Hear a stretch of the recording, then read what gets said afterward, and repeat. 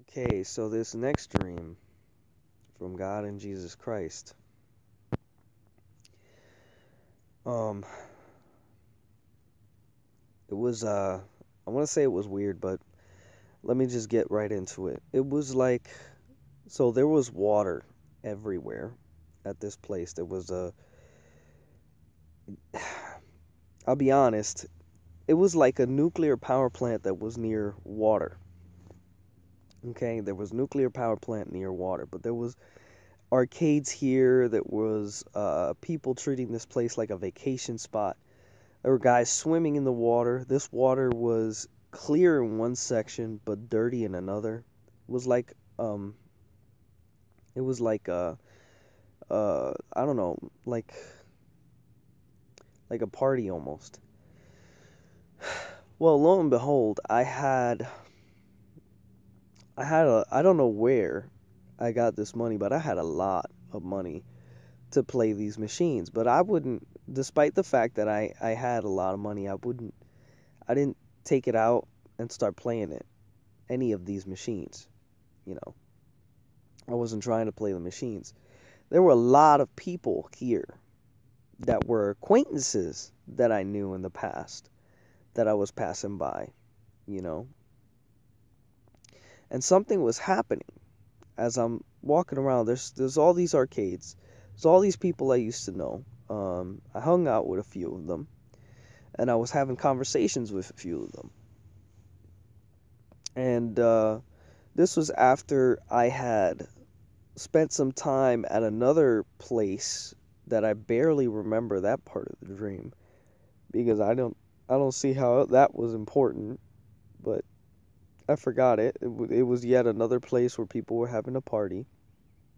Okay, so everybody's enjoying themselves in summertime uh, at this point. And, anyways, I see a few people that I haven't seen in years. Um, but before I see these people that I haven't seen in years, I see a nuclear power plant burning it's like black smoke is coming from it.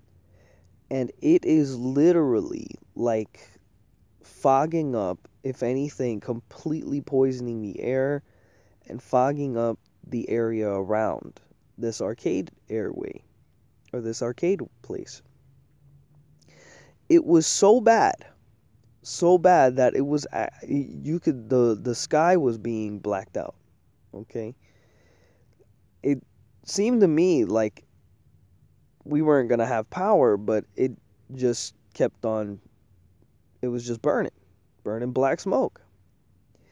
So then there's three black guys that are next to the power plant. Okay? And this significant number, because of the way that they ended up doing everything, had like its own little sign.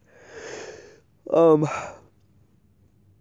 these guys all knew how to swim, but for whatever reason they were they did what they did. So I had one guy, the first the first black guy, he goes into the water and just dives to the bottom, okay, in front of him. The next guy goes into the water, dives in front of in front of him also, and then the third guy, instead of diving, he goes and he traps himself in the concrete that's kind of broken off, so the rebar's sticking out you know, that's kind of where they were diving off is um, broken floor, uh, concrete flooring.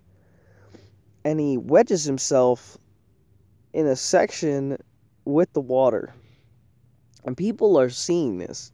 And they're like, are these guys just retarded? Like, they're just, are they just trying to cool off because it's hot or something? Because these guys, is like, uh, how do you, how do you even just do this? Well, one guy starts yelling out, help, help. And me, I was paying attention.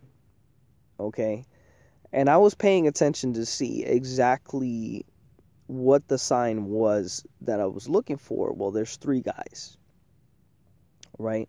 So I already knew this was the fact that there's three guys, I was like, okay, something is up here. There's three guys. If these two guys don't dip in the water and this guy goes um, just two rocks over which is exactly what he did as the third guy. He went just two rocks over, you know. and the only thing I could think of was uh, 33, right, and 23 are two numbers that I was thinking of. But there was a date that I thought of inside of the